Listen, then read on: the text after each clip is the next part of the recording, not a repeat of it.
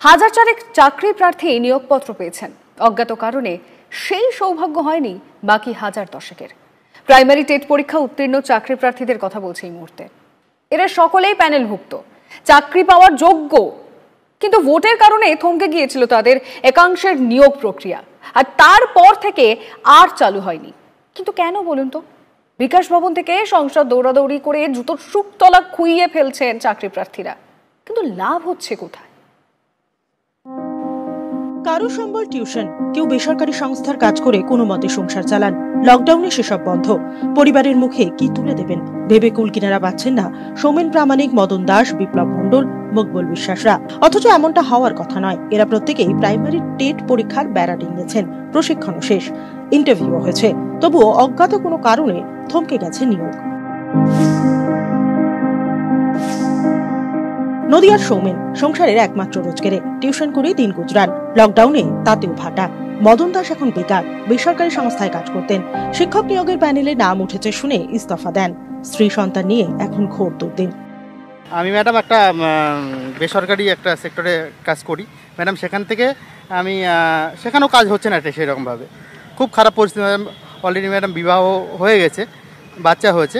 তো আমাদের পরিস্থিতি ম্যাডাম খুব খারাপ। এখন ম্যাডাম আমি আমি টিউশন করি কিন্তু এখন এই করোনা পরিস্থিতির জন্য টিউশনটা বন্ধ। ফলে আর্থিকেও মানসিক দিক দিয়ে খুবই খারাপ পরিস্থিতির মধ্যে রয়েছি। চাকরি কি আদৌ হবে? দুশ্চিন্তায় দু চোখের পাতা এক করতে পারছেন না বিপ্লব মকবুলরা।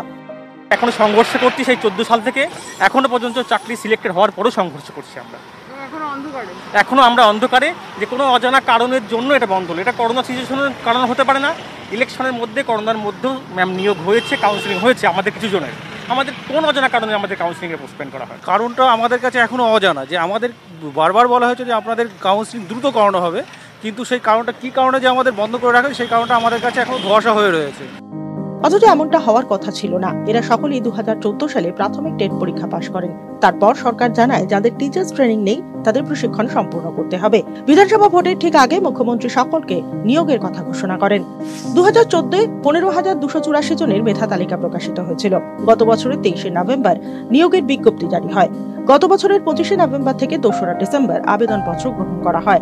চলতি বছরের দশ থেকে সতেরোই জানুয়ারি পর্যন্ত ইন্টারভিউ হয়। পনেরোই ফেব্রুয়ারি ফাইনাল মেরিট লিস্ট প্রকাশিত হয়।